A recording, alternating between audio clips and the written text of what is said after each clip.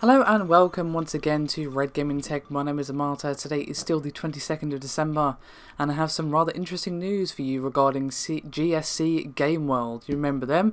They were the original makers of the Stalker games and according to gamesindustry.biz they are actually back in business. In a rather odd turn of events, the company that essentially disappeared off the face of the planet in 2011 is back with a new website and a secret project in the works. Now, a person who works for the company, whose name I'm not even going to attempt to pronounce, was interviewed by Games Industry and they identified him as part of the original GSC team and, quote, spokesperson for the studio's return.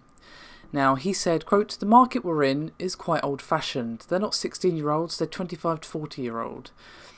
We don't think free to play is the right model for the game we want to make, so we're making an old fashioned full price game. We think our audience will be happy about it. We're expecting a lot of our old audience. Now, the interview was rather brief. I will, of course, touch on the main points here, but if you want to read the whole thing, I will, of course, link it in the description below this video.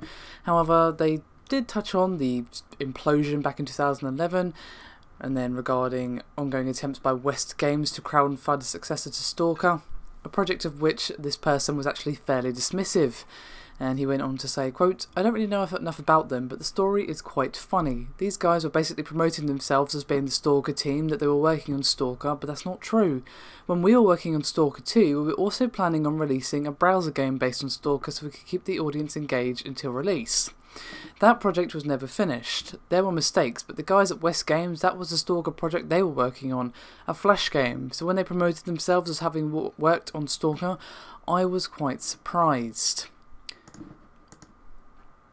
Now, just in case you're unaware, the crowdfunding effort for West Games game, which is actually called Stalker Apocalypse, has actually only received about $15,000 of its 60, 60 sorry, 600,000, there we go, with 79 days to go. So I don't think there's any real danger of them releasing that game anytime soon. And um, the spokesperson for GSC Game World did say regarding this quote, "We would definitely win the legal action against them, but we won't start it. They used a lot of ideas from Stalker. I don't know what they were thinking starting that. I haven't heard from them for quite a while. Of course, if there's any hit back statements or whatever from West Games will of course let you know as soon as possible but I more wanted to focus on the return of GSC Game World who of course we haven't heard from for quite some time. What could they possibly be working on? Well a return to the Stalker franchise would be the most obvious and would be the most welcome um, but they could be working on something completely new.